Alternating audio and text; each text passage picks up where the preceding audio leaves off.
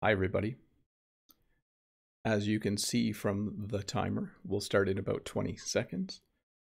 Just doing a few last minute checks to make sure my computer is working properly. Make sure the microphone is working properly. We'll start the English lesson in about six seconds, five seconds.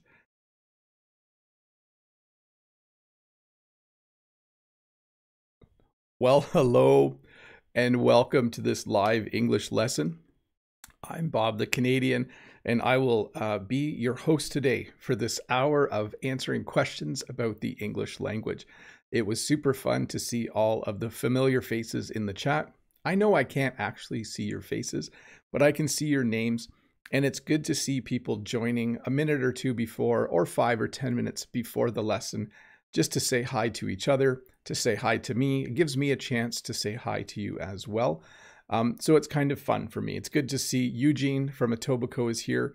Uh, Internet Shop, Sita is here. Madi is here. Mode Eggs is here. But I think Mode Eggs might be leaving in a bit. Semra is here. Rod, the Brazilian English teacher, of course. Uh, Madi, I think I mentioned already. Muhammad, Anuwat, Lolly Lolly, Maria C um, Julia Olise. I think I said Sita. I should make a list of people to say hi to so I don't say things twice. But welcome. Thanks as well uh, to Todd and Dave who are here to moderate the chat. By the way, uh, Todd and Dave have been moderating the chat. I think Todd for it's getting close to two years for Todd, and it's probably about a year and a half or more for Dave. So I very much appreciate their commitment and the time that they give to do this. It's very, very helpful. If you are new here, and you're wondering what is happening, I'm Bob the Canadian. I teach English here on YouTube. I just got it. And on Saturdays uh, at 11 a.m. my time, I do a live question and answer lesson. Todd and Dave in the chat will occasionally share a link that you can use to ask a question. I will take those questions and try to answer as many of them as I can over the next hour. So if you do have a question, please submit it. Uh, please use the chat for English conversations. Over the last couple of years, the amount of English conversation in the chat has really improved. It's really cool to go back and watch the video again and for me to see all the cool English conversation that's happening in the chat. Uh, I see Brent from American English with this guy has popped in. Good to see you, Brent, as well. Um, remember, it's not just me who's an English teacher here on YouTube. There are many of us. So you should probably watch more than just my videos because there's a lot of good variety out there and a lot of good lessons. Um, let me jump though to the first question. Um, let me see here. Um, let me see if I have the right question on the screen. so this is from Eduardo. And Eduardo says, Hi, Bob. Good morning. Please, could you could you give me some phrases that you use when someone falls in love? Thanks in advance. Well, Eduardo, I did a lesson on how to express worry in English, and I did another lesson uh, on how to express other emotions. I might do a whole lesson on how to express love, although I might be blushing the whole time I do it. Um, in most cultures and languages, talking about love can cause people to be slightly embarrassed. But what would I say? I'll, here's a simple response. In English, if you say, I love you to someone, it's a pretty serious thing to say. Um, if you do actually love someone, it's a nice thing to say. But I do find people who are new to speaking English sometimes say, I love you when it might not be appropriate. Okay. We usually use the word like a lot to talk about people. So you can say things like this. If you were talking about a band that you like, you could say, Oh, I love them. That's totally appropriate. But at work, if you say to a colleague, I love you, that's not appropriate. Instead, you would say, I like you, or I like working with you, uh, or I love working with you. That would be fine as well. So, anyways, enough time on the question of love. I should spend an entire lesson talking about how to appropriately express like and love in English. Uh, Vito says, Hi, Bob. Can you give me some examples of connected speech that you use every day? Thanks. So, this always reminds me of a time when I was teaching someone how to speak English. and they wanted to know what the phrase what you gonna do means. Actually, they thought it was one word, what you gonna do, because they had heard it in the theme song for the television show Cops. And it goes, Bad boys, bad boys, what you gonna do? So, what are you going to do becomes what you're gonna do. Okay. We very much compress and connect and contract our speech. So, um, and then the second one would be one of my first videos was on the phrase, How is it going? and we actually say, How's it going? How's it going? So if I met Brent, Brent and I hope to meet up after COVID somewhere nice, maybe Niagara Falls, so I don't have to drive very far. I would say, Brent, how's it going? I wouldn't say, Brent, how is it going? That sounds very strange to my ear. I would say, how's it going? So, two quick examples of connected speech. Uh, let's see. Miss uh, M. Bilal says, Sir, how would you describe the feeling in your body? Going to add a little word there after your first tough exercise, which doesn't let you move easily. So, a few, I, I can help you with this because I started lifting more weights this week. Um, you would say this, Oh, um, I'm really stiff. That's probably the best expression. You could say, Oh, my, my, my body's really stiff. Like your muscles are a bit sore, um, but definitely stiff would be the word that you use. Um, sometimes after I exercise really hard, um, I am stiff the next day or I'm sore. You could use both of those phrases. Let's see here. Next question is from Ruslan. Hi, Ruslan. Hello, the best teacher Bob. Thanks, Ruslan. How are you, sir? Which expression is more grammatically correct? The house of yours or your house? So they are both somewhat correct. The first one sounds very formal. Like you could say to someone, um, that house of yours is very old. It, yeah, the house of, yeah, it sounds very old fashioned. Okay. I would more say your house. Your house is very old. Um, how old is your house? My house is very old. Uh, next question from Mahmoud. Let me get a little sip of water here. Hello, Teacher Bob. How are you doing? Could you please tell me what's the difference between essentially, apparently, and presumably? When you use them to start a sentence, they mean very much the same thing. They're just kind of a way to start a sentence where you're going to state a fact. So essentially, um, this video is about answering questions about English. Apparently, this video is about answering questions about English and presumably. So essentially means it is actually about that. Apparently is something you would say if you just discovered that if you watch this lesson for a bit, you might say, oh, apparently this is a lesson where Bob answers questions about the English language. And presumably would be, you would say that in advance to someone. You would say, um, I haven't watched Bob's videos, but presumably they're about, uh, in those videos, he teaches English. So some example sentences, maybe not the best explanation there. Sorry, let me just check my audio again. I'm a little distracted because I'm getting weird errors on my computer again, but it doesn't seem to be affecting the stream. So that's good. Hey, I did want to uh, answer a question or statement that I saw in the chat earlier. Before I started the stream, someone mentioned that because there's no subtitles, they have trouble understanding this live stream. And my response, and Mode Eggs mentioned it as well, it's always a good idea to watch parts of this live stream again later because if you wait a couple of days, YouTube usually adds automatic English subtitles. And because I try to speak clearly and at a, a normal pace, a, a slightly slower pace, the subtitles are usually really accurate. So if there's a part of this lesson that you don't understand, do come back in a couple days and watch it again. It can be quite helpful. Um, let's see here. Athanasios over there in Greece says, Hello, dear teacher. How are you? I'm good. We could say, Hey, guys, do you mind speaking more softly? Thank you. Um, you could say that. Um, so, guys can be used to refer to guys and girls, but we're using it less like that. Okay. When I talk to my class, I have boys and girls in my class. I don't usually say, Hey, guys, quiet down, or Hey, guys, do you mind speaking a little more quietly? You would probably use quietly in your sentence, by the way. Um, hey guys, do you mind speaking a little more quietly? If there was a group of guys in a restaurant, being really loud, that's what I would say to them. Hey guys, do you mind speaking a little more quietly?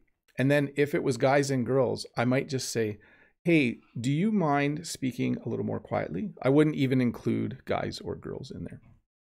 Let's see here. Shanae says, hello, teacher Bob. Could you explain the difference between to encourage and to promote? Much appreciated. When you encourage someone, you want them to do something so you try to explain why it's a good thing. Okay. So if I want to encourage someone, I would say, um, you should take an English test. I think you would do really well. I think your English is awesome. So you say positive things about someone to kind of encourage them. I know I'm using the word to define it, to do something. So when you encourage someone, you're kind of trying, like, let's say someone is running every day for exercise. You might say to them, you should enter a race. So if you say that, you're encouraging them. When you promote something, it's a little bit different. Um, let's say Jen is selling flowers today, which she is. In order to sell the flowers, she promotes them on social media. So she tells people about those flowers. So it's slightly different. Now, you can also get a promotion at work. Like my boss can promote me that means if I'm a teacher, I could get promoted to being a supervising teacher. So it does have multiple meanings. Let's see here. Cigar says, Hi, Teacher Bob. How to use the word metaphor in conversation? What does it mean? Like he spoke metaphorically. Okay, so there are two ways to create word pictures. You can do it with a simile, or you can do it with a metaphor. A simile uses like or as, right? So you would say the clouds in the sky were like angels. So you're comparing the clouds to angels using like. When you use a metaphor, you actually just say the thing is the other thing to create a link to it. So you could say um, the leaves on the trees are the spring clothing um, of the season. Okay. So I'm not using like or as. So it's not a simile, it's a metaphor. Anytime you use a metaphor, it's when you you kind of paint a picture with words of something as you compare it to something else. Hopefully that made sense. Next question is from Diego. Hi Bob. Morning. How's it how's it going today? That's what I would say. In the Monday, oh, on Monday, little correction, I'll have a job interview for PayPal. Could you please give me a few advices for it or give me some advice for it? Thanks for your lessons. Well, I did a lesson on um, job interview, English for job interviews. Maybe Todd or Dave could look that up and link it in the chat. I think that might be a good video to watch. And if you do search Bob the Canadian job or Bob the Canadian jobs, there's at least two videos in my library that might you might help you with that, Diego. Um, but first of all, I wish you all the best. I'm I'm that's awesome. I hope it goes really well. And I think you got this. That's what we would say to encourage you. You got this, Diego. You can do it. I hope you get the job. Uh, let's see here. Zulma says, Hi, Teacher Bob. What's the name of the table that is not in the dining room? In Spanish, we say antecomedor. Thanks in advance. Have a great month. God bless you. Well, let me look up a picture of that for a sec. Um, let me look up a picture of that and I'll tell you what we would call it. Yeah, you know, we have a few different kinds of tables. So we have a kitchen table. If you have a separate room for eating, you might have a dining room table. You might have a dining room. This is kind of an older thing. Most people don't have dining rooms anymore that I know of. But we have a kitchen table if I had another room for eating called the dining room, I would have a dining room table. And yeah, the only other night table I can think of is like a night table or um, something like that. So I'm not sure. Good question. I like it when I'm stumped. Oh, I can't answer this one, Iad. When should I use up, down, into, on, at, and in? Yeah, there you could do a series of like 10 or 20 lessons on prepositions and still not cover it all. Um, I'm going to ask Dave or Todd once again to find, there's a video in my library about in, on, at, and by. Uh, the thumbnail is me up in a tree Um, if Dave or Todd could find that, that might be helpful, EAD as a place to start. But it's that's a pretty big topic and hard to explain quickly. I will say this um, when it comes to traveling, um, you travel by plane, you usually get on the plane, but you can also say when you're sitting in the plane. So that's why it gets really confusing. When you travel by car, you get in the car. So you can see already that I'm using different prepositions depending on the nuance of the sentence. So tricky. I would search for as many videos as you can on YouTube from myself and other teachers to help you understand that. Uh, Roosevelt says, What's your tip for us to talk English more quickly? I'm going to change that last word. Um, anything you do in life, if you want to become faster at it, you just have to do it more. And the story I like to tell is this when I was young, I worked for my uncle as a construction worker, we, uh, as a carpenter. And so when I first learned to bang nails in with a hammer, I would tap the nail once and then hit it nine or 10 times. After a whole summer of hitting nails in with a hammer, I could tap the nail once and then I could hit it two or three times to put the nail in. The same thing happens with uh, and the English language. The more you speak, the better you will get at it, and the faster you will be able to go. Um, that's really that's really the it's that simple. Spend as much time as you can speaking, and eventually your speaking speed will increase. I don't have any tricks for doing it faster except um, tongue twisters, reading out loud, anything you can do to challenge yourself to use all of your muscles in your mouth will help as well. Let's see here. Laura. Bonjour from Brittany, France. Bob, merci pour cette leçon live. Okay, sorry, I'm trying to translate in my head. Bonjour from Brittany, France. Bob, thank you for this lesson. My question is what's the difference between the sky and the skies? Thanks a lot. I would say this in everyday speech, we say the sky. There's an airplane up in the sky. Um, the sky is blue. I really like the sky. Sounds like the phone's ringing, but I'm not going to answer it. Jen will answer it. I'm sure she will. Um, when we talk about the skies, it's more poetic, you know, uh, or you're talking about multiple skies. So I could say this the skies at night in the summer are very beautiful here. Okay. So I'm talking about not just the sky, but multiple skies that happened on different days. So you can use it in the plural. Sorry, it's probably a bit annoying when the phone rings, isn't it? Um, I'm sure Jen answered it. I'm sure someone is coming to buy flowers today. Uh, we'll see. Hopefully that's what it is. I like it when Jen sells flowers. Um, let's see here. Next question from Kismo. Hi, Teacher Bob. How are you? I'd like to know what your city's nickname is. Thanks and have a good weekend. So, um, the closest city to me is Hamilton, Ontario. I also live relatively close to St. Catharines, Ontario. The nickname for the city of Hamilton is the Hammer. So, some people call it the Hammer. I don't call it the Hammer, but Hamilton starts with H A M. Some people call it the Hammer. St. Catharines, the other city that's close to me, some people call it St. Kitts. They just shorten the name.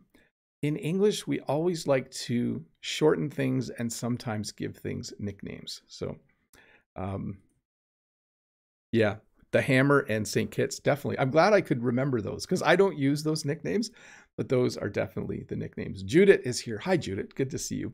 If someone moves to Vancouver, can he enroll in the British Columbia University to become a doctor of medicine? I don't know. So it's tricky when you move from another country. If you've already studied at a university, your courses and credits don't always transfer.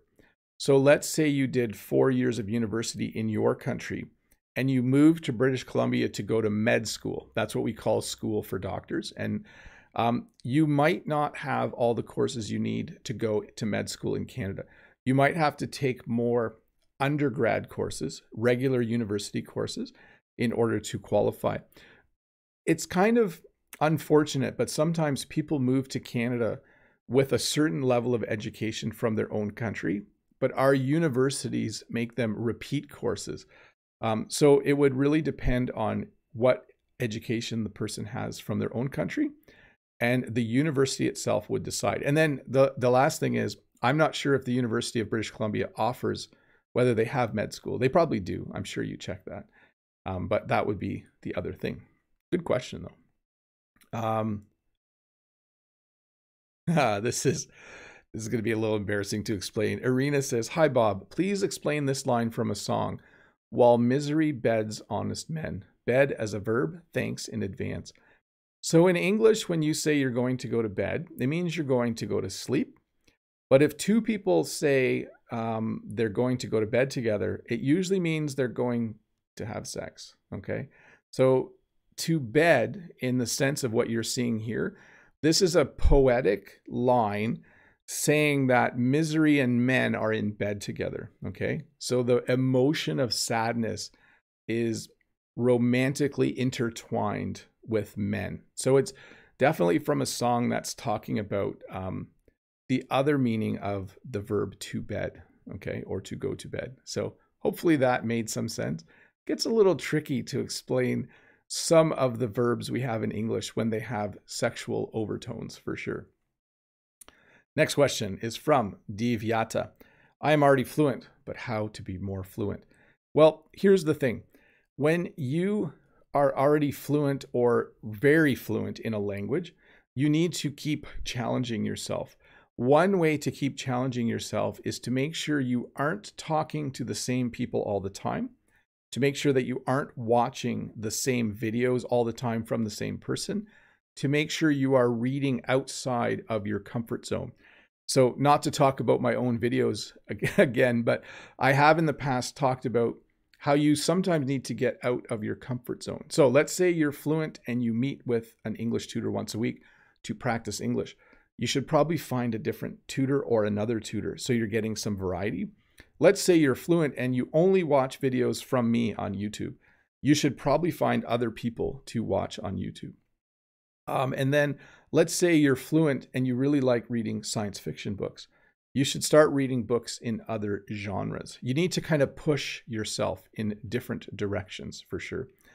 Um, and then spend a lot of time in groups with native speakers because conversations between a group of four people where one person is learning English and three people uh, are fluent speakers, they don't have to be native speakers, but fluent speakers.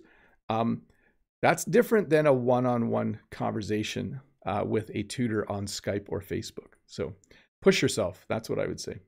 Um, and don't stop practicing your English. Otherwise, it kind of fades a little bit. Um, Yaroslav, hi, dear teacher Bob. How do you motivate your students? A few tips, thanks. You are an awesome teacher. So, in real life, in my classrooms, how do I motivate my students? Well, there's a couple of things I think that I do, especially in my upper level classes. I try to make sure students realize I'm there to help them I'm not there to give them bad grades and get angry if they don't do their work. I'm there to help them learn the thing that I am teaching. It's a little easier for me to motivate students because I teach upper level French and upper level computer studies, and students generally choose to take my classes. They're not forced to. Um, but usually I just try to make sure I understand how much the student already knows and then help them get to the next level. I think it's critical for a teacher to know how much a student knows so they can help them make progress. And if you can help someone make progress, that's very, very motivating. Um, let's see here. I see Dave saying, Hi, Alexander, please keep political issues out of the chat.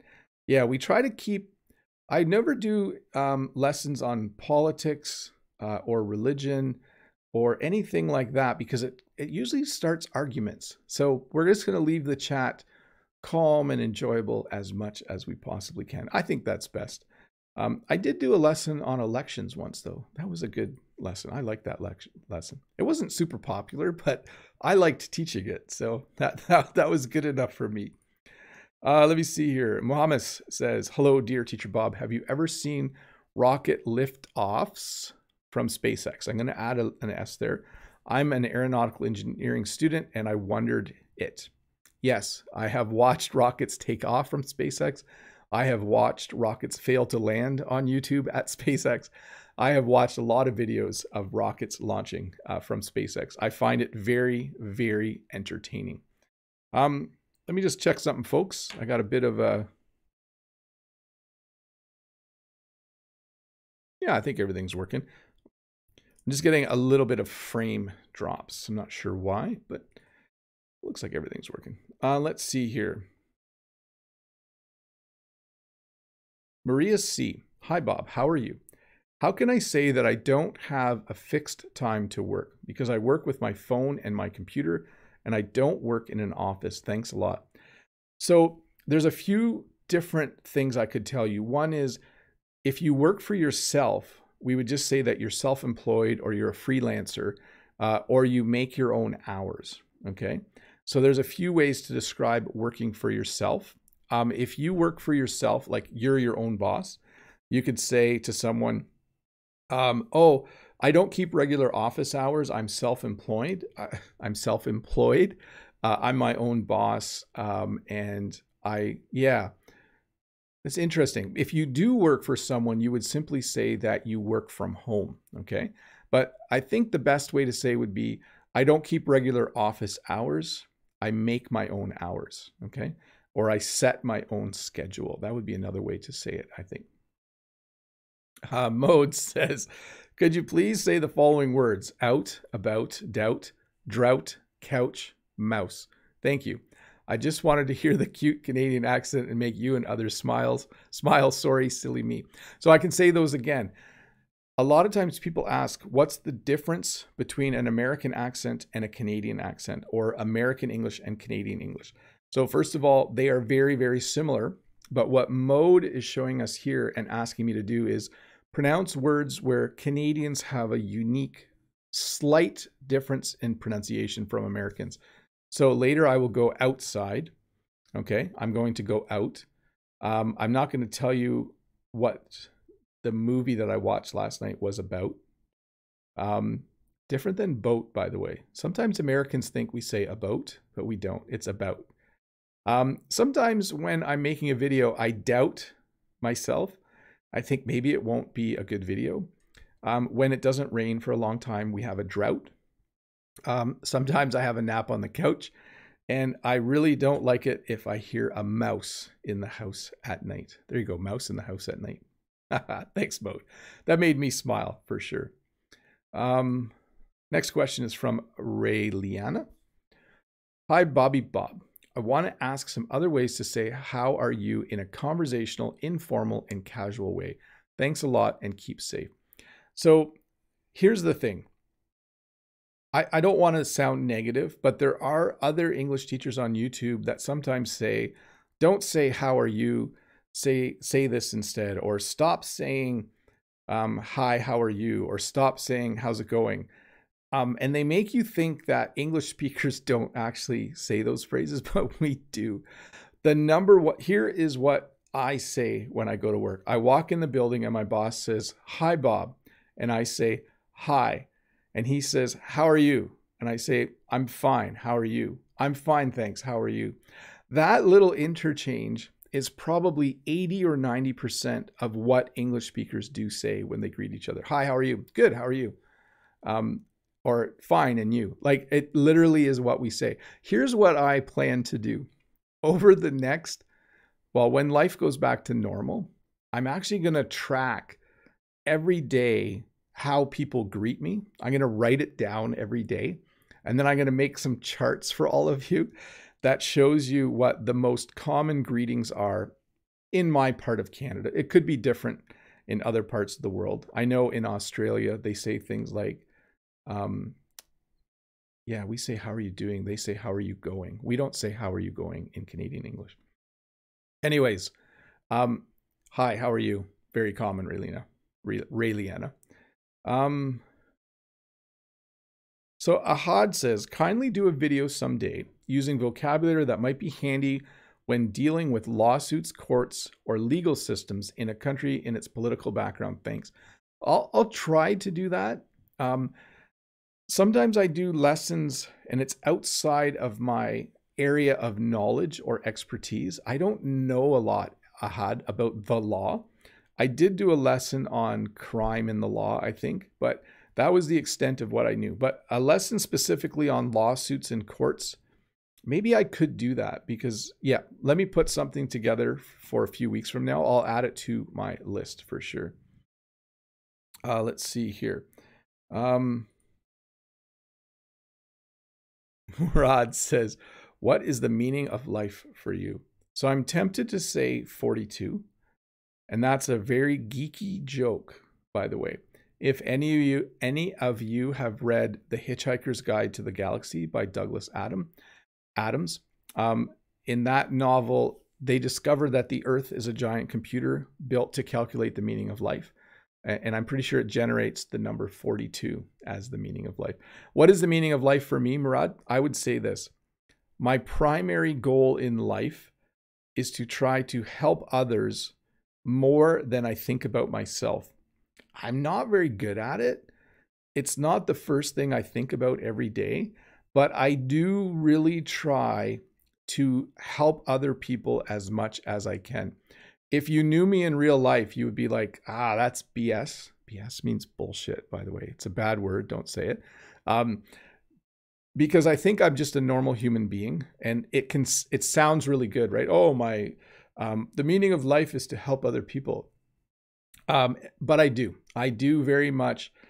When I go for a walk, I try to think about how can I make the world better? What can I do? And one of the things I do is teach English on YouTube. Um, and again, I'm not perfect. Um, I have moments where I'm a jerk. I have moments where I'm not a nice person. I have moments when I'm angry uh, and all those things. But I usually come back to this thought that, you know, I'm uh, getting older and I don't want to live the last 20 or 30 years of my life um, selfishly.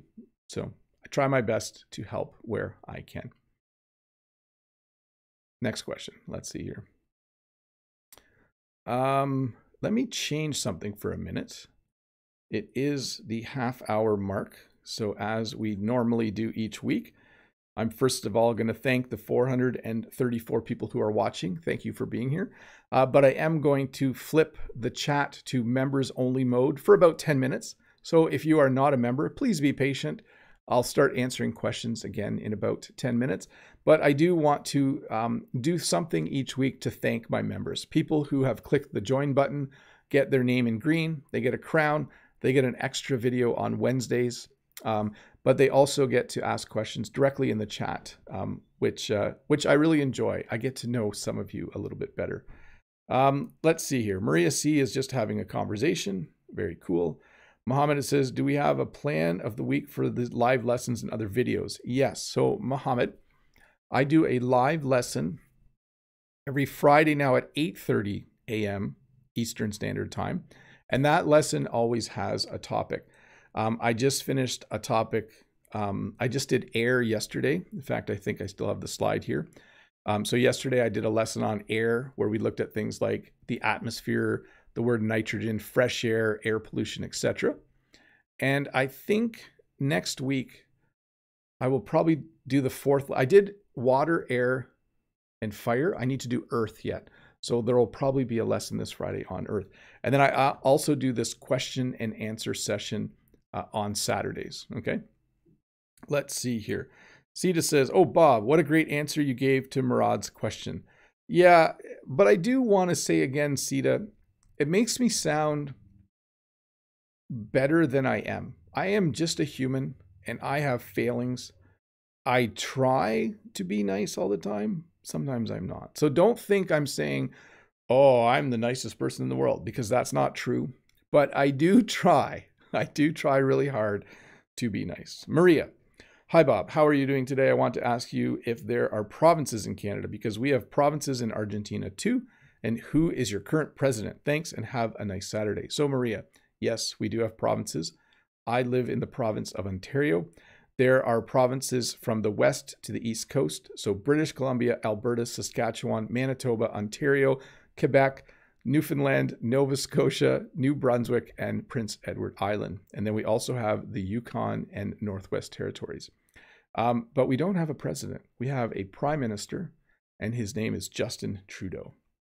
Eugene says, Hi, Bob. Please say Happy Mother's Day to your mother and your wife. Do more housework for them. Thank you. I will do all of that, Eugene. By the way, tomorrow is Mother's Day here in Ontario, Canada, and in many other places in the world. Uh, either today or tomorrow, I think, is Mother's Day. Uh, and by the way, um, what was I going to say? Oh, I'm not doing a GeoGuessr live stream tomorrow night because it's Mother's Day. Jen and I are going. We can't go anywhere, but we will probably go for a drive and maybe go to the lake or something. But everything's closed in Ontario. But we'll still try to do something. So no live stream tomorrow night on my other channel. Julia Olise, hi dear teacher. I watch a lot of TV shows and I have noticed the word savage become viral and people often say that was savage or that is a savage burn. Is in your area words like that? Yeah, so savage has become like an extreme word, right? Like if you if something is extremely mean, you say it's savage, like a savage comment. That word kind of floated up and disappeared a bit, I think last fall. But honestly, my knowledge of current English isn't as good as it normally is because we are not at school a lot right now. I teach remotely, so I don't hear students talking. Um, Lolly says, Bonjour, Bob. Is there a difference between stale air and polluted air? Yes. So, polluted air is when factories and cars put pollutants in the air. Stale air is just if your apartment is closed for weeks on end and you've never opened the window, then the air gets kind of stale, kind of smells funny.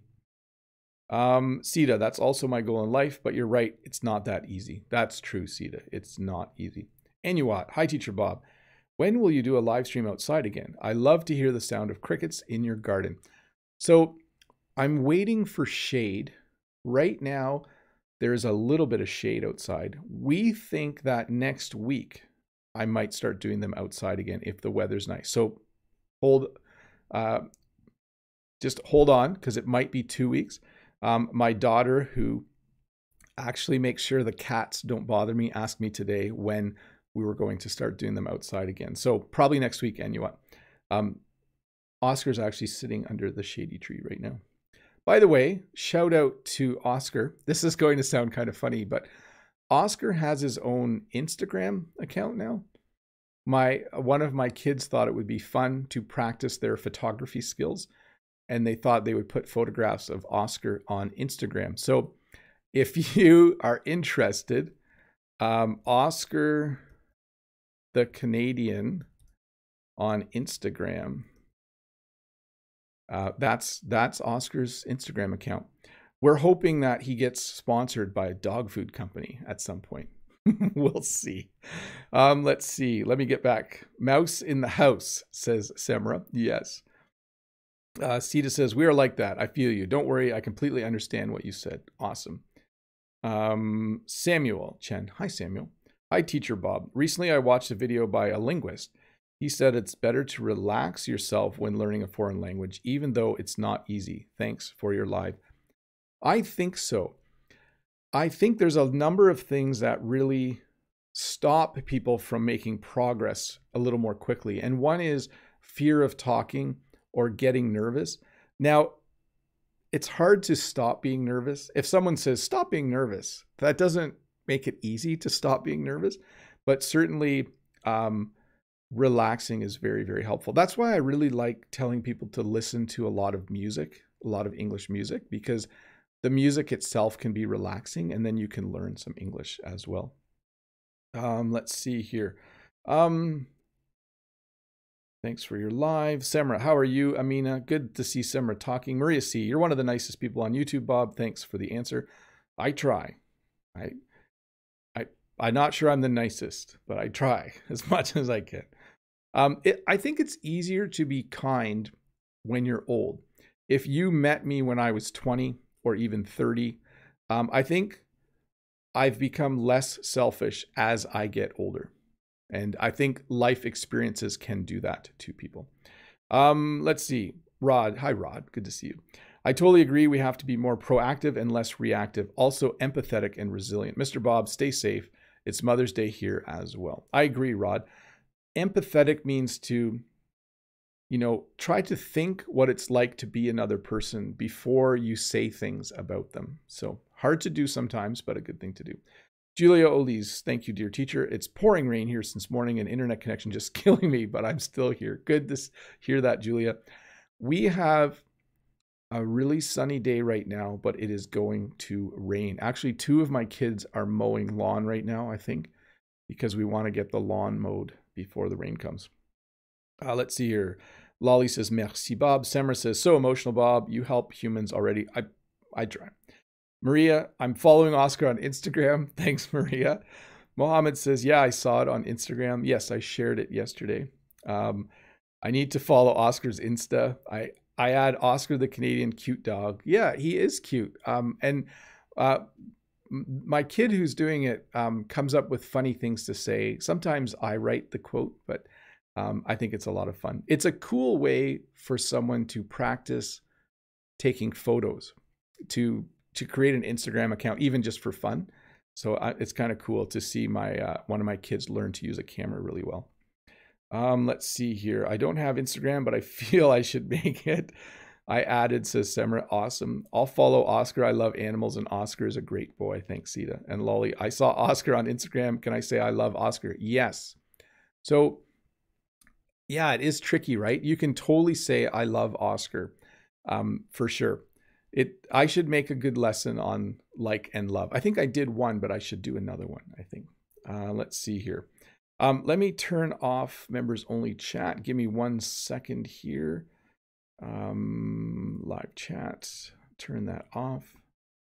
And we'll go back to a normal chat. Anyways, thank you to all of you who are members. Thanks for helping support me. Um, it's uh, uh, it's a lot of fun to do these live streams, and what makes it more fun is seeing not just members but regulars and seeing people have conversations. I feel like that's a really cool thing that happens when these live streams are happening. So thank you. Let me get back to this question though, which has just sat here for 10 minutes and I haven't answered it. Art to me says, Hi, Teacher Bob. You are the best teacher. I like your channel. Your lessons and other videos are great. So, not another, but other. Your lessons and other videos. Can you please explain the word nevertheless? So, nevertheless is a weird uh, phrase because you say things like, um, let me see. I'm going to look for an example. I can't think of one off the top of my head. Let me go here. He was very tired. Nevertheless, he went on walking. Okay. So it's when you, there's a certain fact that means, here's another good example. Um, it's starting to rain, but nevertheless, I'm going to keep mowing the lawn. So it's when you, an action happens or something happens where you think maybe you should stop doing something, but you carry on doing it in spite of that. That's not a great explanation, but I, I think it's good good enough for now. Okay, next question. Let me just check something here. Sometimes I like to try and figure out. Here we go. So Lu Wenji, I think that's how I would pronounce it, says, uh, oh, it looks like it got highlighted in the background as well. There we go. Hello, dear teacher Bob. I'm a Chinese man and, a, and I very much love your English class. Okay, you do have to add that in there. My question is, does English, do English people learn grammar? A little fix there. Best wishes to you. Yes. So my own children who are native English speaker do learn grammar. They learn what adjectives are, what adverbs are, what verbs are, what nouns are. They learn grammar a little differently than people who are learning English for the first time, but they learn all the parts of speech. They learn how to connect sentences.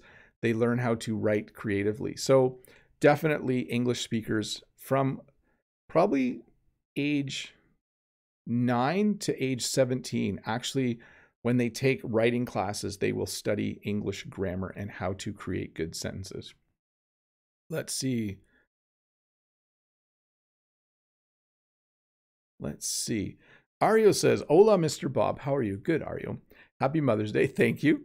My question Can you do a lesson on Detective Conan English?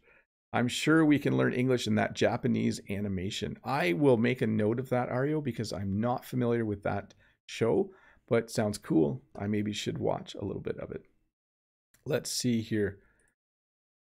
Natalia says, Hi, dear teacher Bob. How are you? I'm good. My question is how frequently do you see, little fix there, how frequently do you see in your school students from other countries? We call them exchange programs. Um, so, and we call them international students. Best wishes. Um, quite often, we have many students from China in our school. Um, we have some students, I think one or two students from Korea. We used to have more students from Europe, but overall, the whole uh, international student program at our school and other schools is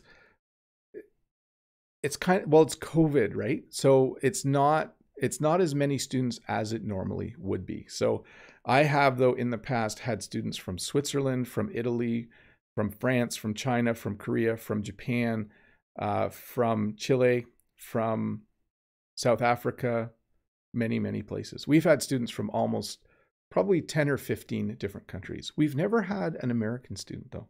I don't know why. Maybe maybe Brent's kids will come to my school. Uh, let's see here. Healy from Japan says, Hi, Mr. Bob. I sometimes talk during online lessons, a little fix there, and I only say it's good, it's cool, it's interesting. How could I say those expressions in other words? Thanks a lot. So you can just start with I. Like you could say, oh, I like this. Oh, I think this is really cool.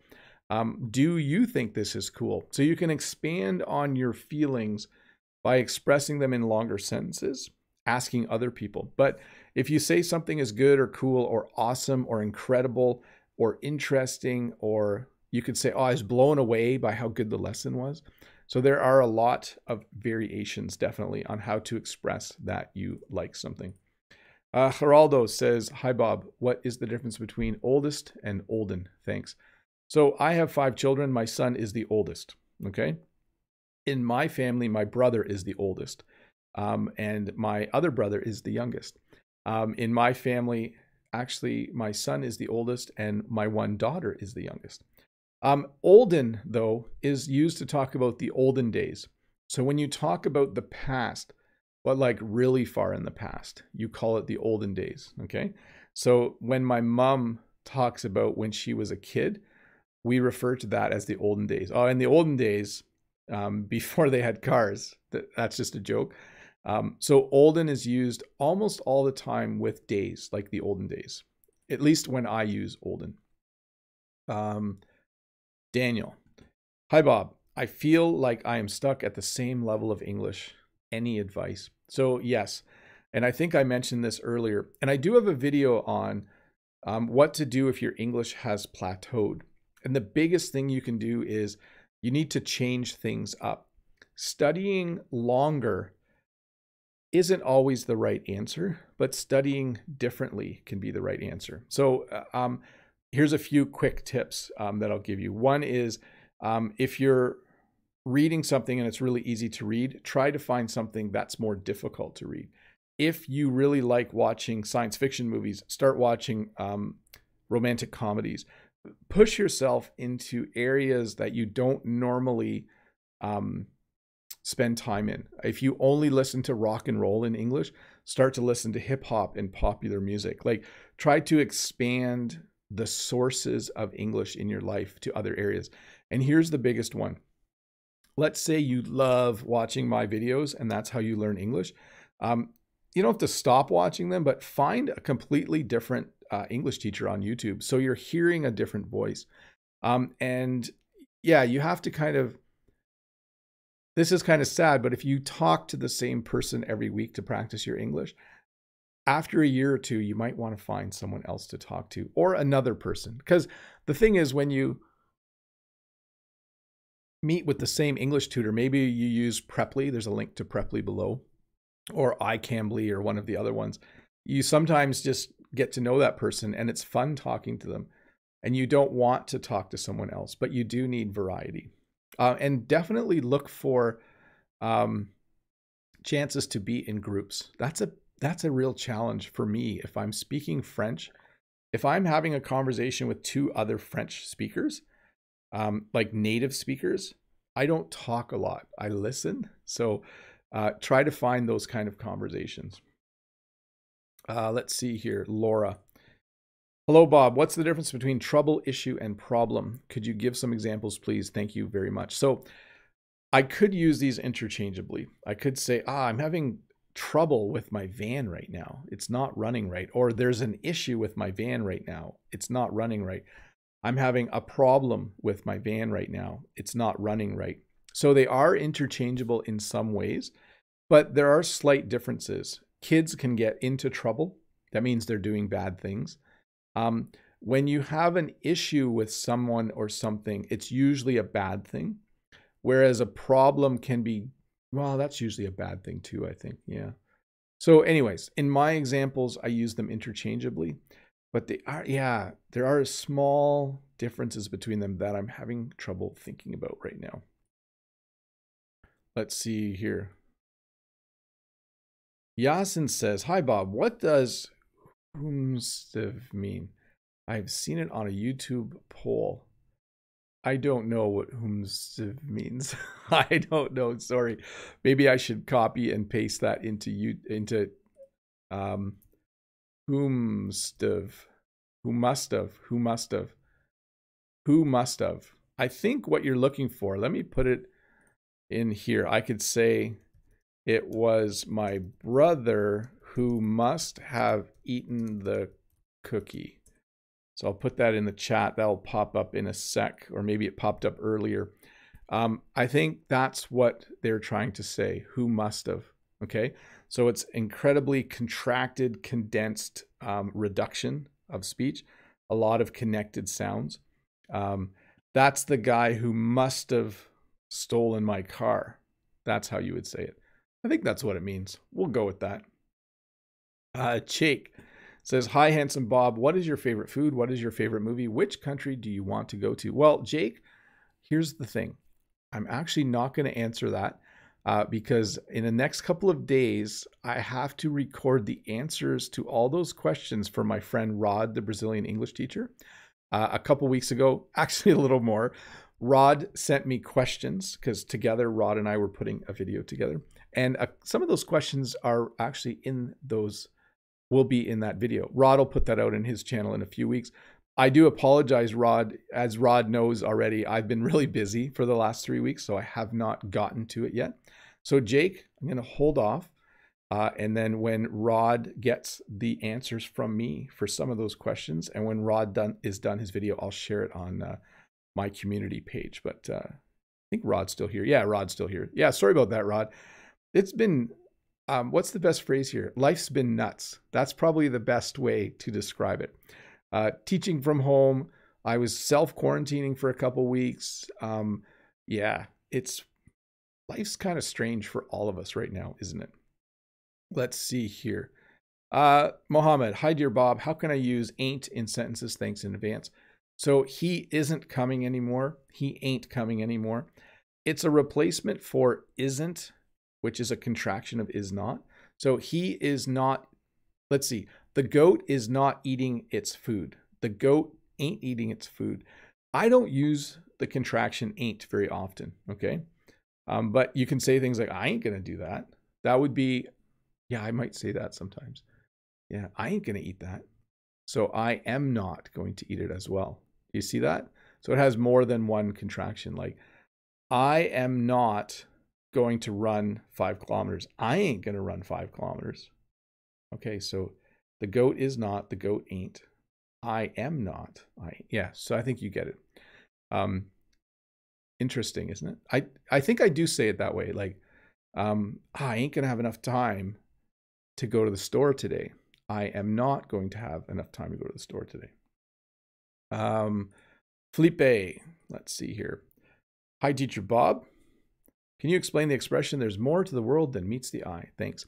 That means that what you see isn't always everything, okay? So let's say you see a picture of a city and it's a beautiful picture of the city, but there's more to that than meets the eye. So you're seeing this beautiful picture of the city, but there might be an area where there's lots of pollution. There might be an area where all of the buildings are run down but they just in the picture show you the beautiful. So there's more to the world than meets the eye. Here's a great example. people on YouTube or Instagram, like me, you see a very positive version of our lives, right? We share the happy moments of our lives. And so there's, more, but there's more than meets the eye, okay? What that means is that there's days where I'm really sad. There's days where I'm not a happy person, but I don't make videos when I'm grouchy and I don't make videos when I'm sad. So there's more than meets the eye. Hopefully that makes some sense. It simply means that what you see isn't the whole story. That's another way we would say it in English. Let's see.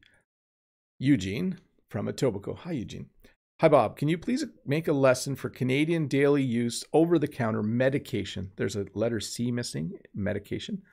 Um, how to read the name and direction like aspirin. I, I will totally do that at some point, Eugene. My biggest annoyance right now is when I buy medicine, I have to use my reading glasses in order to read the side of the bottle. And I always feel like the older someone gets, the more medicine they take, but the smaller the instructions get. Um, the print is very, very tiny. Let's see here. Um, Andre Padron. Hi, Mr. Bob. Hello, Mr. Bob. Handwriting or typing? Which one is better to memorize spelling? Thank you. Have a good day. So, I don't handwrite very often, but I still think it's a powerful way to memorize something. Um, so here's what I would say. Let's say I learned a new French word like la maison, and I want to make sure I remember that it's la, not le. I would probably do this. I would probably use that word in an email. I would probably write that word down by hand five times. And I would probably try to use the word in a conversation that week. I find that when I, by the way, I learned la maison when I was a kid. It's not a new word for me. Um, I find that when you learn a new word, if you can type it, write it by hand, and use it um, once or twice within a few days of learning it, that really, really helps me uh, memorize it. I think that's a good tactic, a good strategy. Um, by the way, hi to the 476 people watching. It's good to see you. As I said, I hope to start doing these lessons outside again. Usually it's sometime around uh, the beginning of May, end of May, where I start to go outside. It's beautiful outside right now, but there's not a lot of shade yet. So hold, um, I keep saying hold tight, um, but let's see. Maybe next week, if the weather's nice, I will go outside. Let's see here. Dr. Tuki, hi Bob. Do you have any industrial areas in Canada like the Rust Belt in the USA? Thanks beaucoup. Um, so do we have? So here's the thing. Um, industrial areas in Canada are outside of our large cities. And we don't actually have a lot of large cities compared to the rest of the world. In fact, most provinces have between two and five large cities. The province of Ontario has Toronto, Ottawa, Hamilton, St. Catharines, London, Windsor.